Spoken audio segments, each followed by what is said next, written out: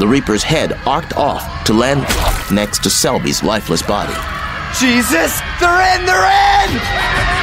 A few ravies, ghoulishly white in the glare of the candle, clambered through the gap in the wall created by the decapitated Reaper. Valentine shifted his parang to his left hand and reached for his pistol. No. The empty holster turned the movement into comic mime as he realized he had dropped the gun while getting the candle.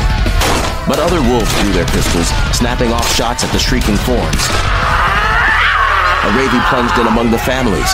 Valentine rushed to the corner to find the howling lunatic pinned against the wall by a man who'd had the presence of mind to grab an old pitchfork when the fight started.